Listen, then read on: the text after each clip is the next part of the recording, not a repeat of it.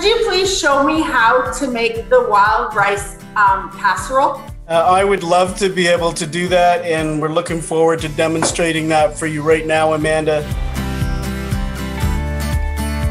What is Canadian Indigenous food? Essentially, it's the food of the original people who lived on this land for thousands of years, and those are my direct ancestors.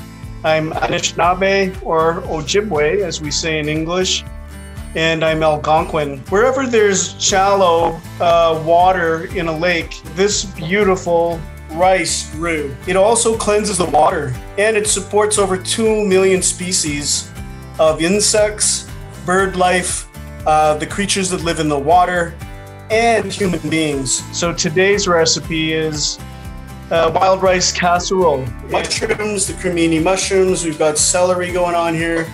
And Lara's about to chop up some fresh orange pepper and some yellow pepper. You can use any peppers. And those three vegetables are all going to be chopped up in quite small portions. And then we're going to saute them and get them ready to add them to the wild rice and the brown rice. And as we know, the brown rice and wild rice are together in the steamer. Wild rice in the steamer, I'm going to put that into a bowl and wait for that to cool off while the vegetables are sauteing in the pan over there. I prefer to use a steamer, but not everybody has a steamer. So you can boil it on the stove top, pretty straightforward pan. And we're going to put a little bit of um, olive oil. Sunflower oil would be the traditional choice, but today uh, we're going to use the fresh pressed um, olive oil for our sauteing. We're ready now to add the sauteed vegetables. We'll add a little bit more of the olive oil to this dish.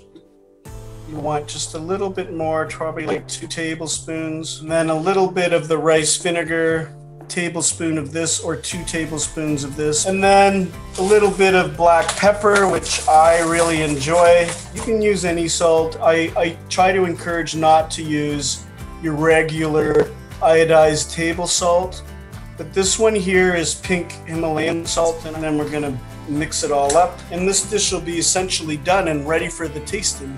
And uh, it's probably gonna make you guys hungry, but we're we're gonna taste taste the dish. Amanda, I wish I could give you some of this. Mm, sorry, it's kind of hard to stop now that I started. mm. It looks delicious. Mm-hmm. Thank you very much. We say chi-miigwech uh, from our hearts, from the bottom of our hearts on this wonderful day. Even in these very hard times, it's so important to share joy and love. And if that's through food, if that's through getting an opportunity to walk in your gardens or say hello to each other on Zoom, then we share all of that support with you. And we thank you so much for having us here today.